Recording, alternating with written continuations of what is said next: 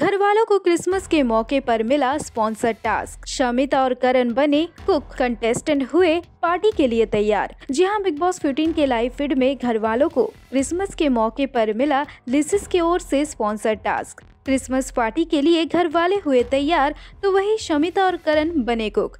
दरअसल जैसा कि आपको पता ही है कि क्रिसमस का मौसम चल रहा है और घर वाले हैं बाहर की दुनिया से दूर बिग बॉस के घर में।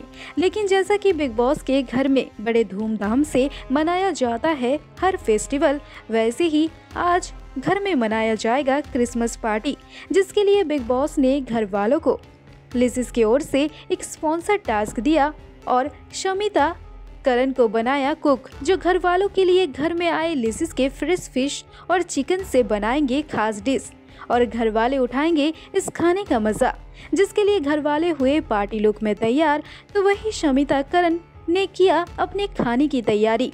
वेल शमिता और करण में कौन बनेगा विनर ये जानने के लिए हमारे चैनल देसी फिट पर नज़र रखिए और हमारे चैनल के बेल आइकन को प्रेस करना और सब्सक्राइब करना बिल्कुल ना भूलें।